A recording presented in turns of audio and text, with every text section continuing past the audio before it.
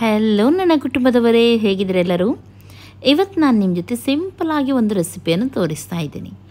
ತುಂಬ ಚೆನ್ನಾಗಿರುತ್ತೆ ಇದು ತಿನ್ನಲಿಕ್ಕೆ ನೋಡುವಾಗ ಕಾಣ್ಬೋದು ನಿಮಗೆ ಎಷ್ಟು ಚೆನ್ನಾಗಿ ಇದು ಬಂದಿದೆ ಅಂತ ಹೇಳಿ. ಓಕೆ ಇವತ್ತು ನಾನು ಗೋಧಿ ಹುಡಿಯಿಂದ, ಅಂದರೆ ವೀಟ್ ಫ್ಲೋರಿಂದ ನಾನು ಇವತ್ತು ಈ ರೆಸಿಪಿಯನ್ನು ಮಾಡಿದ್ದೀನಿ. ತುಂಬ ಇಷ್ಟ ಆಗುತ್ತೆ ಮನೆಯಲ್ಲಿ ಎಲ್ಲರಿಗೂ. ನನ್ನ ರೆಸಿಪೀಸ್ ಯಾರಿಗೆಲ್ಲ ಇಷ್ಟ ನೋಡಿ, ಅವರು ಈವಾಗಲೇ ಇದನ್ನು ನೋಡಿದ ತಕ್ಷಣ ಲೈಕ್ ಮಾಡಿ. ನಿಮ್ಮ ಫ್ರೆಂಡ್ಸ್ ಜೊತೆ ಎಲ್ಲರ ಜೊತೆ ಶೇರ್ ಮಾಡಿ. ಓಕೆ ನೋಡಿ, ತೋರಿಸ್ತೀನಿ ನಿಮಗೆ ಯಾವ ರೀತಿ ಇದೆ ಅಂತ ಹೇಳಿ. ನೋಡ್ತಾ ಇದ್ದೀರಲ್ಲ? ತುಂಬ ಚೆನ್ನಾಗಿರುತ್ತೆ ಇದು. ಬ್ರೇಕ್ಫಾಸ್ಟಿಗಿರಲಿ ಅಥವಾ ನೀವು ಸ್ನ್ಯಾಕ್ಸಿಗಿರಲಿ ಯಾವುದಕ್ಕೆ ಕೂಡ ಇದನ್ನು ನೀವು ತಿನ್ಬೋದು, ಮಾಡ್ಬೋದು. ತುಂಬ ಟೇಸ್ಟಿಯಾಗಿ ಬರುತ್ತೆ. ಇವತ್ತು ಎರಡು ವಿಧಾನದಲ್ಲಿ ಮಾಡಿ ತೋರಿಸ್ತೀನಿ. ಒಂದು ಚೀಸ್ ಹಾಕಿ ಹಾಗೂ ಚೀಸ್ ಹಾಕದೆ. ಎರಡರಲ್ಲೂ ಕೂಡ ನಿಮಗೆ ತೋರಿಸ್ತಾ ಇದ್ದೀನಿ ಇದನ್ನು. ಓಕೆ ಬನ್ನಿ. ರೆಸಿಪಿಯನ್ನು ಸ್ಟಾರ್ಟ್ ಮಾಡೋಣ. ಇದಕ್ಕೆ ನಾನು ಎರಡು ಕಪ್ಪಷ್ಟು ಗೋಧಿ ಹುಡಿಯನ್ನು ತಗೊಂಡಿದ್ದೀನಿ. ಒಮ್ಮೆಲೆ ಗೋಧಿ ಹುಡಿ ಇಲ್ಲದಿದ್ದರೆ ನೀವು ಮೈದಾ ಹುಡಿ ಕೂಡ ತಗೊಳ್ಬೋದು ಓಕೆ, ಎರಡು ಕಪ್ಪಷ್ಟು ಹಾಕಿ ಹಾಗೂ ಇದಕ್ಕೆ ಸ್ವಲ್ಪ ನಾನಿಲ್ಲಿ ತುಪ್ಪವನ್ನು ಸೇರಿಸ್ತಾ ಇದ್ದೀನಿ. ಇದರಿಂದ ಇದು ಕ್ರಿಸ್ಪಿಯಾಗಿ ಕೂಡ ಬರುತ್ತೆ ಹಾಗೂ ಟೇಸ್ಟ್ ಕೂಡ ಚೆನ್ನಾಗಿರುತ್ತೆ. ರುಚಿಗೆ ತಕ್ಕಷ್ಟು ಉಪ್ಪು. ಚೆನ್ನಾಗಿ ಇದನ್ನು ಮಿಕ್ಸ್ ಮಾಡೋಣ. ಒಮ್ಮೆಲೆ ತುಪ್ಪ ಇಲ್ಲದಿದ್ದರೆ ನೀವು ಆಯಿಲ್ ಕೂಡ ಯೂಸ್ ಮಾಡ್ಬೋದು. ಆದರೆ ತುಪ್ಪ ಬೆಸ್ಟ್ ಅಂತ ನಾನು ಹೇಳ್ತೀನಿ. ಓಕೆ ಮಿಕ್ಸ್ ಮಾಡಿ ಇದಕ್ಕೆ ಸ್ವಲ್ಪ ಸ್ವಲ್ಪನೇ ನೀರು ಹಾಕಿ ನಾವು ಇವಾಗ ಚಪಾತಿ ಹಿಟ್ಟು ಯಾವ ರೀತಿ ಮಾಡ್ತೀವಿ ನೋಡಿ, ಅದೇ ರೀತಿ ಮಾಡಬೇಕು. ಆದರೆ ಚಪಾತಿ ಹಿಟ್ಟು ನಾವು ಸ್ವಲ್ಪ ಸಾಫ್ಟಾಗಿ ಇಡ್ತೀವಿ. ಇಲ್ಲಿ ನಮಗೆ ಗಟ್ಟಿಯಾದ ಹಿಟ್ಟು ಬೇಕು. ಸ್ವಲ್ಪ ಟೈಟಾದ ಡೋ ಬೇಕು. ಹಾಗಾಗಿ ಇದನ್ನು ನೋಡಿ ಸ್ವಲ್ಪ ನೀರು ಹಾಕಿ ಈ ರೀತಿ ಚೆನ್ನಾಗಿ ಮಿಕ್ಸ್ ಮಾಡಿ ಟೈಟಾದ ಡೋ ನಿಮಗೆ ಸಿಗುತ್ತೆ ನೋಡಿ ಈ ರೀತಿ. ನೋಡಿದ್ರಲ್ಲ? ಹೀಗೆ ನಮಗೆ ಬೇಕು. ನೋಡುವಾಗ ನಿಮಗೆ ಗೊತ್ತಾಗುತ್ತೆ. ಇದನ್ನು ಇವಾಗ ನಾನು ಸ್ವಲ್ಪ ಹೊತ್ತು ಮುಚ್ಚಿಡ್ತೀನಿ ಹಾಗೂ ಇದನ್ನು ಪಕ್ಕದಲ್ಲಿ ಇಡೋಣ. ಅಷ್ಟು ತನಕ ಇದಕ್ಕೆ ಬೇಕಾಗುವ ಮಸಾಲೆ ರೆಡಿ ಮಾಡೋಣ. ಎರಡು ನೀರುಳ್ಳಿಯನ್ನು ನಾನಿಲ್ಲಿ ತೊಗೊಂಡಿದ್ದೀನಿ. ನೋಡಿ ಮೀಡಿಯಮ್ ಸೈಜ್ ಎರಡು ನೀರುಳ್ಳಿ. ಸಣ್ಣ ಸಣ್ಣದಾಗಿ ಕಟ್ ಮಾಡಿದ್ದೀನಿ. ಕೊತ್ತಂಬರಿ ಸೊಪ್ಪನ್ನು ಹಾಕಿದ್ದೀನಿ ಇದಕ್ಕೆ. ಹಾಗೂ ಒಂದು ಬೇಯಿಸಿದ ಆಲೂಗೆಡ್ಡೆ. ಇದು ಆಪ್ಷನಲ್ ಬೇಕಿದ್ರೆ ನೀವು ಹಾಕ್ಬೋದು ಇಲ್ಲದಿದ್ದರೆ ಕ್ಯಾರೆಟ್ ಸ್ವೀಟ್ ಪೆಟ್ರೋಟ್ ಅಂದರೆ ಗೆಣಸು ಎಲ್ಲ ಬರುತ್ತೆ ನೋಡಿ, ಅದು ಕೂಡ ನೀವು ಯೂಸ್ ಮಾಡ್ಬೋದು. ಸ್ವಲ್ಪ ನಾನಿಲ್ಲಿ ಪೆಪ್ಪರ್ ಹಾಕಿದ್ದೀನಿ, ಅರಶಿನ ಪೌಡರ್ ಸ್ವಲ್ಪ, ಹಾಗೂ ಚಿಲ್ಲಿ ಪೌಡರ್ ಬೇಕಿದ್ರೆ ನೀವು ಆ್ಯಡ್ ಮಾಡ್ಬೋದು. ನಾನಿಲ್ಲಿ ಗರಂ ಮಸಾಲವನ್ನು ಸ್ವಲ್ಪ ಹಾಕಿದ್ದೀನಿ, ಸ್ವಲ್ಪ ಚಿಲ್ಲಿ ಪೌಡರ್ ಚಿಲ್ಲಿ ಪೌಡರ್ ಬೇಡದಿದ್ದರೆ ನೀವು ಸ್ಕಿಪ್ ಮಾಡ್ಬೋದು ಹಸಿ ಮೆಣಸಿನ್ಕಾಯಿ ಕೂಡ ಹಾಕ್ಬೋದು. ಚಿಲ್ಲಿ ಫ್ಲೇಕ್ಸನ್ನು ಸ್ವಲ್ಪ ಹಾಕಿದ್ದೀನಿ ನಾನಿಲ್ಲಿ. ಆಮೇಲೆ ಇದಕ್ಕೆ ಕೂಡ ಸ್ವಲ್ಪ ರುಚಿಗೆ ತಕ್ಕಷ್ಟು ಉಪ್ಪು. ಬೇಕಿದ್ರೆ ಮ್ಯಾಂಗೋ ಪೌಡರ್ ಎಲ್ಲ ಸಿಗುತ್ತೆ ನೋಡಿ ಡ್ರೈ ಪೌಡರ್ ಅದನ್ನು ಕೂಡ ನೀವು ಆ್ಯಡ್ ಮಾಡೋದು ಆ್ಯಡ್ ಮಾಡ್ಬೋದು. ಆಮೇಲೆ ಸ್ವಲ್ಪ ಲೆಮನ್ ಬೇಕಿದ್ರೂ ನೀವು ಇದಕ್ಕೆ ಹಾಕ್ಬೋದು.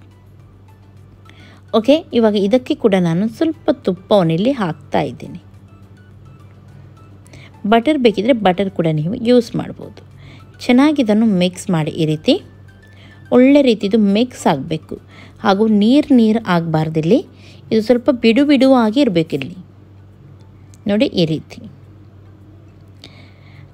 ಓಕೆ ಇವಾಗ ಇದು ರೆಡಿಯಾಗಿದೆ ಹಿಟ್ಟಿನ ಕಡೆ ಹೋಗೋಣ. ಓಕೆ ನೋಡಿ.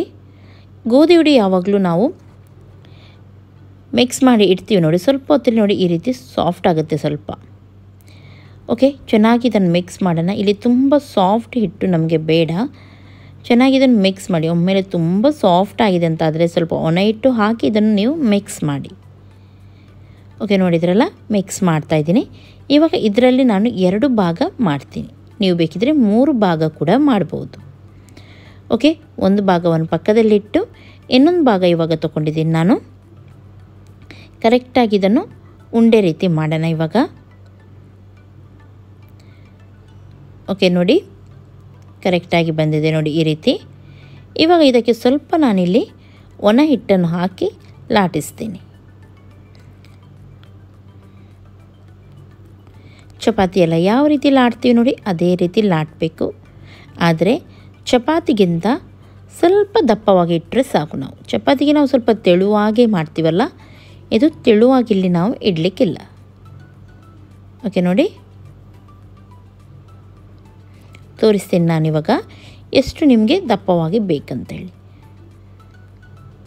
ನೋಡಿ, ದೊಡ್ಡದಾಗಿ ನಾನಿಲ್ಲಿ ಮಾಡಿದ್ದೀನಿ. ನೋಡ್ಬೋದು ನೀವು. ಹಾಗೂ ನೋಡಿ, ಎಷ್ಟು ದಪ್ಪ ನಾನಿಲ್ಲಿ ಇಟ್ಟಿದ್ದೀನಿ. ಈ ರೀತಿ ಬರಬೇಕು. ಇವಾಗ ಯಾವುದಾದ್ರೂ ಒಂದು ಸಣ್ಣ ಪ್ಲೇಟೆಲ್ಲ ಇರುತ್ತೆ ನೋಡಿ. ಈ ರೀತಿ ದೊಡ್ಡದಲ್ಲ ಸಣ್ಣದು. ಇದರಿಂದ ನಾನು ಎರಡು ರೌಂಡ್ ಶೇಪಲ್ಲಿ ತೆಗಿತೀನಿ ನೋಡಿ ಹೀಗೆ. ಇದಕ್ಕಿಂತ ಸಣ್ಣದು ಬೇಕಿದ್ರೂ ನೀವು ಮಾಡ್ಬೋದು. ಆದರೆ ದೊಡ್ಡ ದೊಡ್ಡದಾಗಿ ಮಾಡಿದರೆ ಸ್ವಲ್ಪ ಬೇಗನೆ ಆಗುತ್ತೆ ಅಂತ ಹೇಳಿ. ಅಥವಾ ನೀವು ಅರ್ಧ ಕಟ್ ಮಾಡಿ ಮಾಡಿ ಕೂಡ ಮಾಡ್ಬೋದು. ಸ್ವಲ್ಪ ಚೆಂದ ಕಾಣಲಿ ಅಂತ ಹೇಳಿ ನಾನು ಈ ರೀತಿ ಮಾಡ್ತಾಯಿದ್ದೀನಿ ನೋಡಿ ಇದು ಎಷ್ಟು ದಪ್ಪ ಉಂಟು ಈ ರೀತಿ ಬಂದಿದೆ ನೋಡಿ. ನೋಡ್ಬೋದು ನೀವು. ಓಕೆ ಈಗೇನೆ ನಾವಿವಾಗ ಎಲ್ಲವನ್ನು ಕೂಡ ಮಾಡಿ, ರೆಡಿ ಮಾಡಿ ಇಡೋಣ. ನೋಡಿ ಇಲ್ಲಿ ಎರಡು ಕಪ್ಪಿಂದ ಎಷ್ಟು ದೊಡ್ಡದರಲ್ಲಿ ಮಾಡಿದರೆ ಇಷ್ಟ ಆಗುತ್ತೆ ಇಲ್ಲಿ ಓಕೆ ಒಳಗಡೆ ಈ ರೀತಿ ಮಸಾಲ ಹಾಕಿ ತುಂಬ ಹಾಕಲಿಕ್ಕೆ ಹೋಗಬೇಡಿ ನೋಡಿ, ಸ್ವಲ್ಪ ಈ ರೀತಿ ಲೈಟಾಗಿ ಹಾಕಿ ಚೆನ್ನಾಗಿ ಇದನ್ನು ಸ್ಪ್ರೆಡ್ ಮಾಡಿ. ನೋಡಿ, ಈ ರೀತಿ.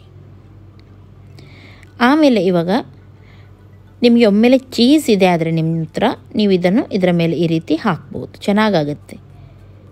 ಒಮ್ಮೆಲೆ ಚೀಸ್ ಇಲ್ಲದಿದ್ದರೆ ನೀವು ನೋಡಿ ಈ ರೀತಿ ಸಿಂಪಲಾಗಿ ಕೂಡ ಮಾಡ್ಬೋದು. ಆಮೇಲೆ ಇದನ್ನು ಈ ರೀತಿ ರೌಂಡ್ ರೌಂಡಾಗಿ ತಿರುಗಿಸಿ. ನೋಡಿ ಹೀಗೆ.